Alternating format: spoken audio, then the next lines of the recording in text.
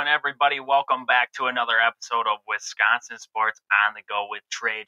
I'm your host, Trag, coming back at you on this uh, Wednesday here with some Brewer talk here. And the Packers had their final cuts yesterday, had them in yesterday afternoon. We're going to cover them. We're going to cover the Brewers and their loss to the Cubs on Tuesday night. We're going to cover them both here. We're going to cover the upcoming game for the Brewers here coming up today for Milwaukee. So, with that, we're going to jump right into the Brewers.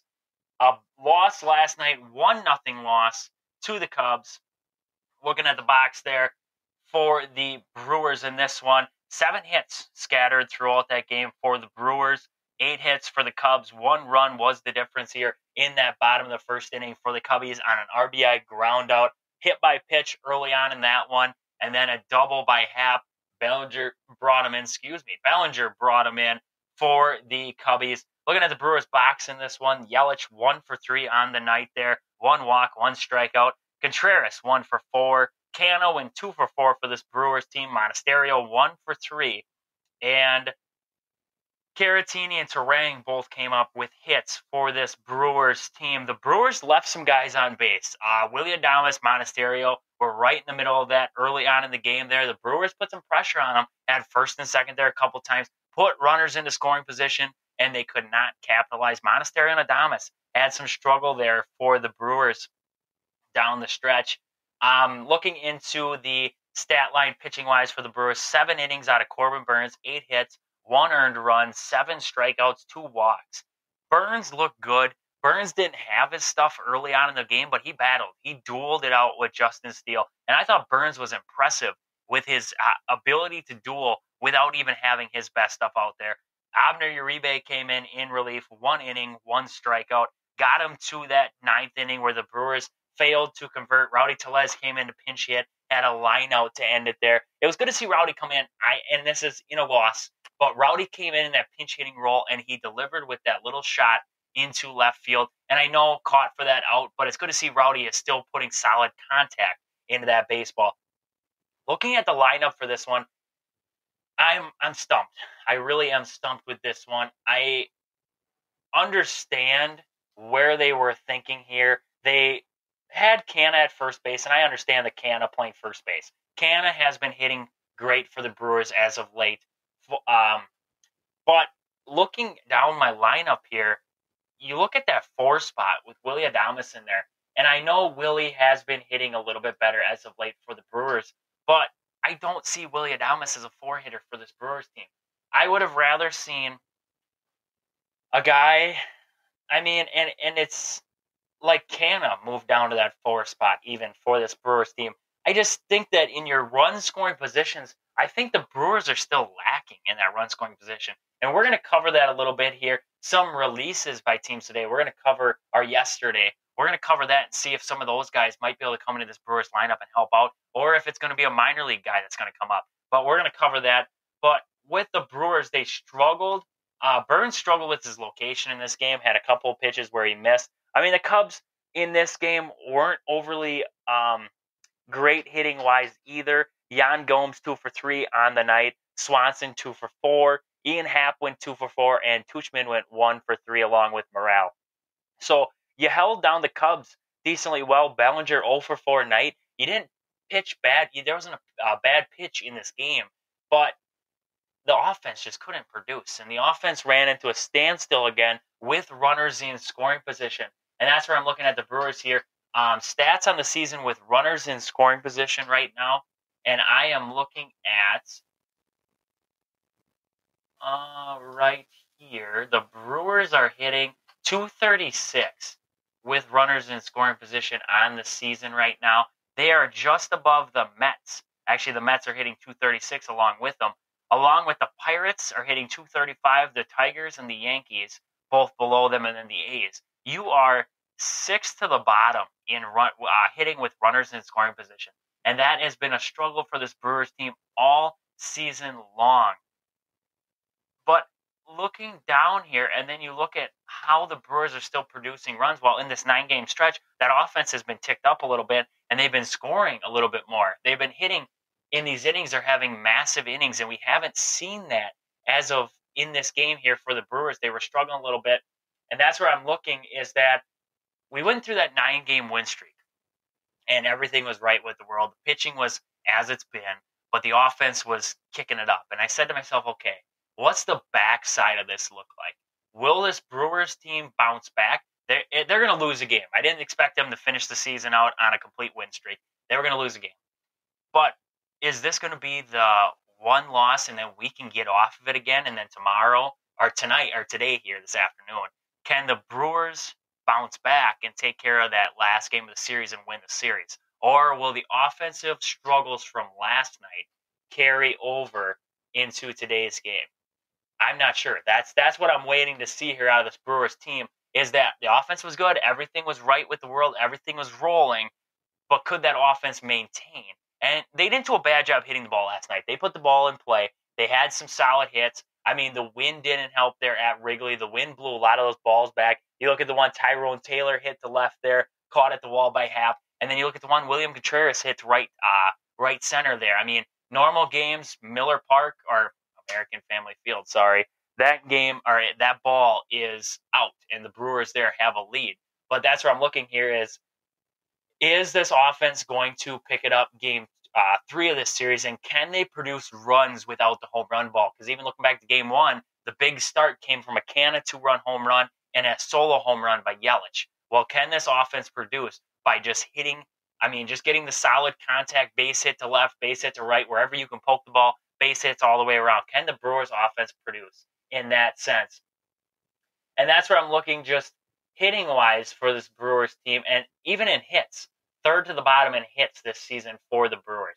I mean, that is a struggle. It's been a struggle for the Brewers all season long. The pitching is what really holds them above water because even in runs scored, RBIs in total as of right now, 556 for this Brewers team.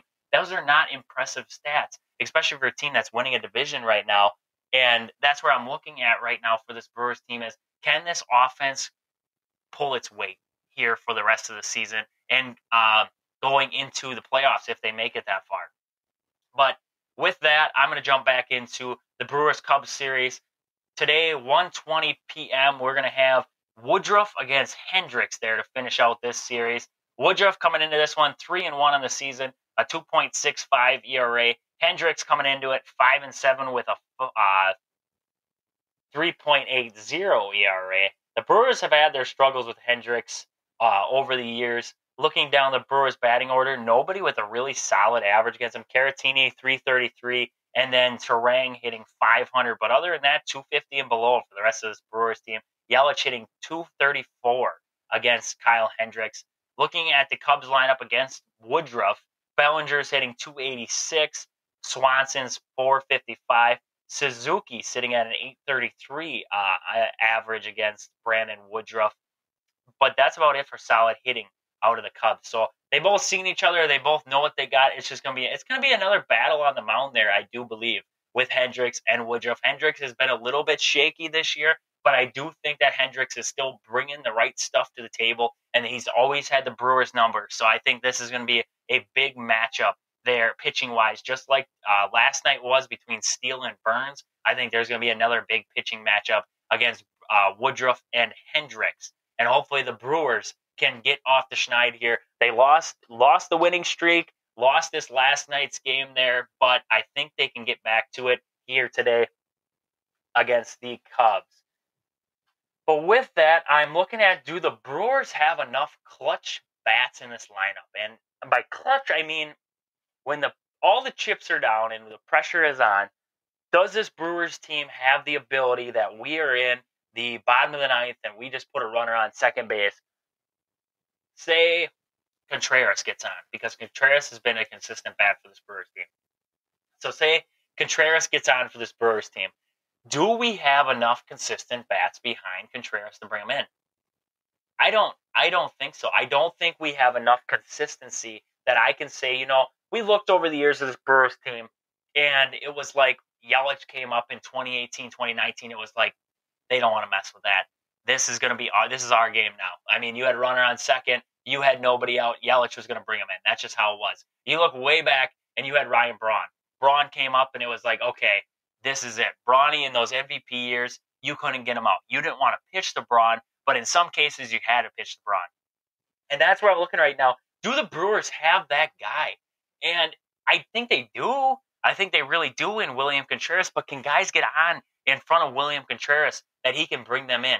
Christian Yelich, he's hit or miss for me right now. I think Yelich has he, he's been a consistent bat for the Brewers here in this season. I think Yelich could be put into an RBI role, but putting him at that leadoff spot, he's more of the guy who's going to get on for you because I'm looking at the bottom of this lineup for the Brewers right now. Turang, they've been mixing Tyrone Taylor in there a lot, and then you look at guys like uh, Wiemer being put down in that nine spot, or guys like Brian Anderson. I don't think those guys are consistent enough to get on for Yelich. So then who's going to get on? Who's going to set the table for the big guys to get on or for the big guys to hit? And right now, your two big guys are batting one and two in your order in Yelich and in Contreras. And then behind them, I think Mark Canha's developed into a pretty consistent bat for this Brewers team as of late. Carlos Santana's coming around a little bit for this Brewers team, and you hope maybe Rowdy Tellez has finally figured it out just a little bit that Rowdy can contribute a lot to this Brewers team. But I really do think that the Brewers are missing some clutch bats, and that's what I'm going to cover with my next one. A lot of players have been recently waived here in the MLB. Um, looking down the list of guys who have cleared or will be put or they're waived as of yesterday and will be on waivers here, and the Brewers will have until September 1st to claim if they want to some of these guys. I'm looking down this list here, and you have guys like Randal Grichuk, recently acquired by the Angels. They released him on waivers. He's out there. Um, Hunter Renfroe has just been put out there, and Harrison Bader has also been added out there. So, with that, I know a lot of people will say, okay, well, we can look down into the minor leagues and we can find guys. We can. We, we can go down into the minors and we can say, okay, hey, Owen Miller, you're hitting 264 down in AAA right now we could definitely use your bat back up in this major league roster. And I do think Owen Miller does deserve another chance at the major league roster. Okay. But looking at that, who do you send down there? Okay, you got Joey Wiemer. Wiemer's a viable candidate to be sent down for this Brewers team. Does Owen Miller fill that hole in the outfield like you want him to? I don't know. If I'm going for, I want my outfield to be locked down, but also able to hit. I don't want to make all these moves all game long. I want to have a guy out there consistent. Well, okay, Owen Miller could be a guy to be brought up. He can play infield. He's a good infielder. I maybe a third baseman. Maybe he could be a backup third baseman. Maybe it's time Brian Anderson gets designated down and potentially down to AAA. Brian Anderson is getting a lot of playing time right now. Maybe it's time we add a guy like Owen Miller back up. Brian Anderson goes back down. Also looking at guys like, well, you could say Jesse Winker. I don't think Jesse Winker. I don't think we give him another shot at the major league roster. I think he needs to stay in AAA for the rest of this one. But then you look at guys like okay, Abraham Toro, 292 down there AAA. He's got a 444 average in the majors. Abraham Toro, viable candidate to play third, first base for you up in the majors, even be a guy to sit at the DH spot. So Abraham Toro, potential guy. But then we look, okay, we want a guy who we know can hit major league pitching right now. We bring him in, he can hit major league pitching right now. And I think that is a guy like Randal Grichuk. And I talked about him during the trade deadline, and I said the Brewers need to be looking at the Rockies right now, and they need to be calling about Randal Grichuk, and they need to be calling about CJ Cron. Both of which didn't happen. We didn't get CJ Cron. We didn't get Randal Grichuk. Now, second shot. This is a second shot at Randal Grichuk here. Looking at his stats here for the season, 2023 stats. In Colorado, he was hitting 308. He had, let's just see here, he had eight home runs, 27 RBIs, 119 total bases, 19 doubles, 74 hits in 240 at bats. 308 average for Randal Grichuk and only 51 strikeouts. A solid season being put together by Randal Grichuk. Then he gets traded to uh, LA to the Angels. He gets put on a team that's struggling a little. I mean, they're struggling, not as bad as what Colorado was, but this Angels team has always been and will continue to be until they get new management out there, a dumpster fire. So Randal Grichuk comes into LA, struggled a little bit there, 165. So on the season here, still hitting solid at like a 264, 260 clip right there for Randal Grichuk.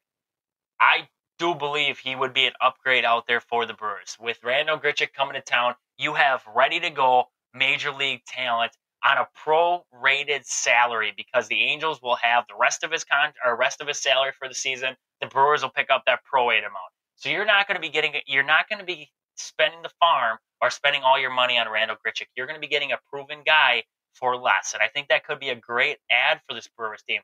Also, a guy like Lucas Giolito, and I know he's had struggles this year. He hasn't been the dominant pitcher that we knew with the White Sox there for a while, or the top of the league pitcher that we knew there for a while. But I do think that Lucas Giolito, if you put him in the right scenario with the Brewers, I think that Lucas Giolito could be a five number five in this rotation.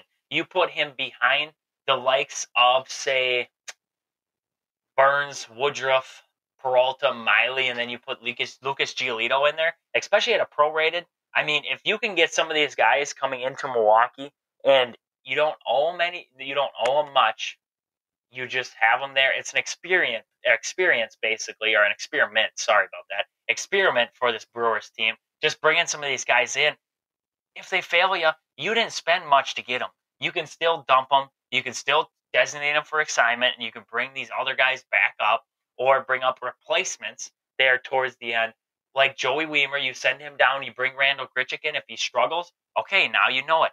If you bring in Lucas Giolito, you move Adrian Houser out to the bullpen. You have flexibility now in your bullpen. The rosters are going to expand here for this Brewers team.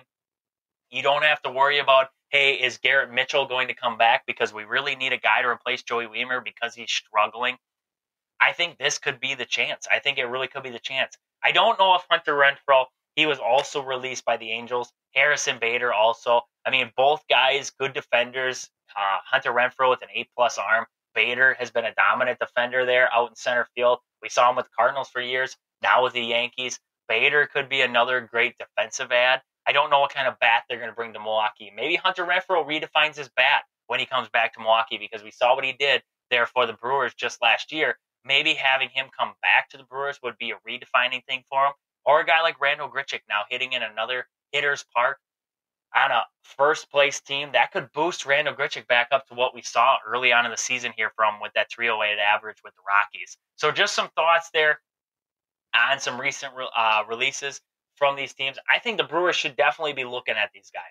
If not signing them, at least looking at them and saying, okay, what could we do with him and where could we implement him into this lineup? Because I do really think that a guy like Randal Grichuk would be a definite upgrade in the outfield there for the Brewers, especially over guys. I know T- Tyrone Taylor went on a hot streak there, but I do think Randal Grichuk is an upgrade over having guys like Joey Wiemer or Tyrone Taylor out there for this Brewers team. And that's where I was going with that. I think it's been enough. I think we've we've all had enough of seeing Joey Wiemer's bat in this lineup. And I think we've had enough of seeing Tyrone Taylor. He went through a streak there against the Rangers where Tyrone Taylor was hitting a lot better. And then even in that twin series, he was hitting pretty good. But I think enough is enough right now with those two. I really do think that there are viable candidates. Abraham Toro, Owen Miller down in AAA. We're carrying a lot of outfielders right now. You can afford to send one of those guys down. You look at tonight's line our last night's lineup for the Brewers. Joey Wiemer in that six spot. Joey Wiemer did nothing for us in that six spot last night. He doesn't do a lot in the nine spot for us either. He comes up with a couple hits, a couple hits a week that save his job. Other than that, he would be, I mean, he's lucky to have an average at this point if he didn't come up with a couple hits. So that's where I'm looking right now with this Brewers team. Do the Brewers go out and pick up some of these guys who were uh, released or waived to yesterday by some of these other teams? And I really do think they better be looking at least in Randal Grichuk's um, direction, and maybe a guy like Lucas Giolito, maybe, or or you're looking at Mike Clevinger too, guys who can solidify the back end of that rotation or be long relievers for this team down the stretch here.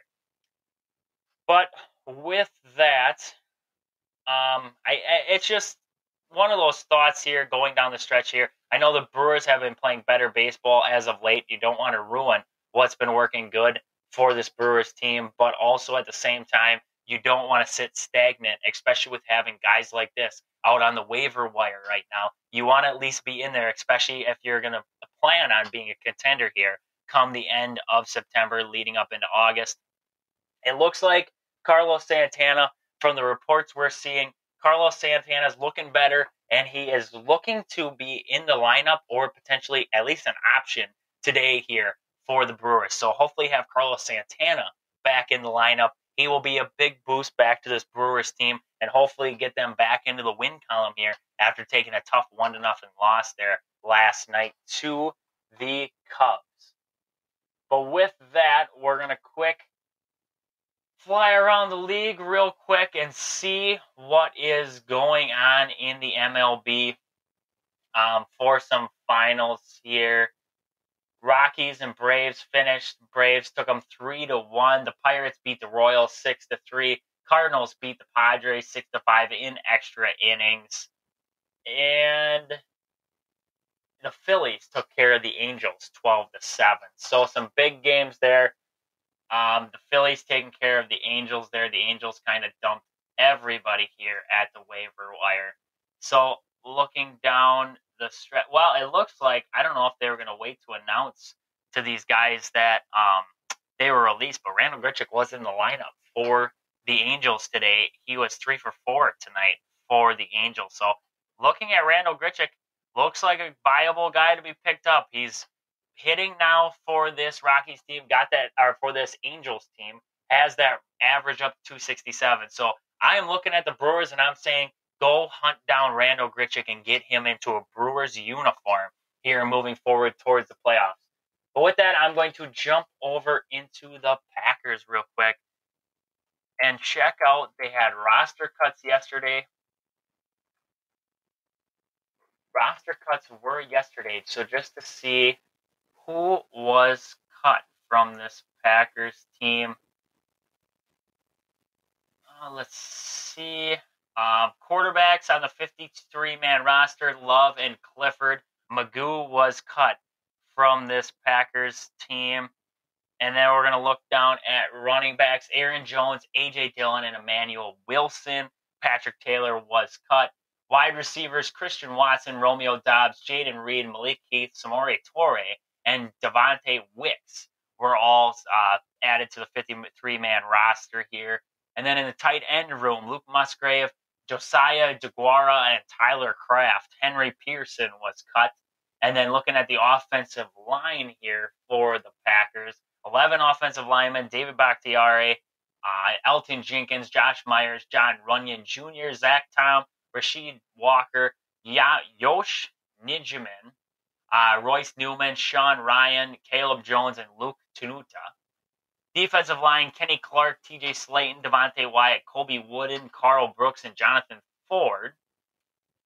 Outside linebackers, Rashan Gary, Preston Smith, Kingsley Enagbare, uh, Lucas Van Ness, Justin Hollins, and Brenton Cox Jr. And then looking at inside linebacker, De'Vondre Campbell, Quay Walker, Isaiah McDuffie, Eric Wilson, and Tariq Carpenter.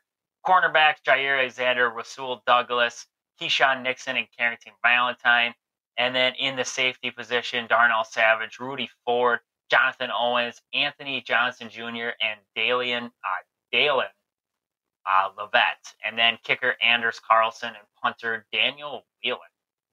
So good to see. I thought it was good to see Emmanuel Wilson, the team's leading rusher from the preseason, get added into this 53 man roster. Um, Taylor was, I think Patrick Taylor was a better pass blocker and on special teams, but I really do think that Emmanuel Wilson was a more dynamic runner, and I think he's going to add another piece into that backfield with Aaron Jones already, and then adding, um, well, with Aaron Jones and AJ Dillon in that backfield, and then also looking at some of the offensive skill positions that were released by the Packers two rookie draft picks. Running back Lew Nichols was waived with an injury designation, and then wide receiver Grant DuBose was um, not included on the 53 man roster for this Packers team. So, some interesting news there out of the Packers. Looking at some of the years for the Packers, they've always, it looks like, it looks like they stayed consistent throughout the years here. Quarterback last year, two quarterbacks on the roster. This year, two quarterbacks. Running back, they had two last year. They've added three this year. Fullbacks, they include them in with tight ends, so they had zeros across the board until back in 2019 when they had one. Wide receiver room, six compared to seven last year. Tight ends, they have three this year compared to four. They kept an offensive lineman, an extra offensive lineman this year. They have 11 instead of that 10 from last year. And then on the defensive line, six to six outside linebacker six to five, inside linebacker five to four. Uh, between the years, cornerback they have four this year compared to five last year. In the safety position, five, and they had five last year. And then special teams, two this year compared to three having on the roster last year. So good to see. And I thought it was also another guy good to see made the roster was Malik Heath. I thought he's been playing great. he's been playing great for the Packers here in the preseason, so it's good to see him get added to this roster on the 53 man roster for the Packers. But with that, that is about all I have for Packer news today. Um, and that is about it for all I have for Brewer Talk, Packer Talk, Wisconsin Sports Talk. We're going to get into it a little bit later this week with the Badgers and the Packers a little bit more, leading up into their week one games. But with that, get out, watch the Brewers today, get down to the ballpark, listen to the game. Hopefully, um, the Brewers will pick up a win here and they will get off the schneid here after losing that first, uh, second game of the series here, and they will get back to their winning ways here in game three of the series before the Phillies series comes up here this weekend. But with that, this has been Wisconsin Sports on the Go with Trades. Thank you guys for listening. Deuces, Brew Crew.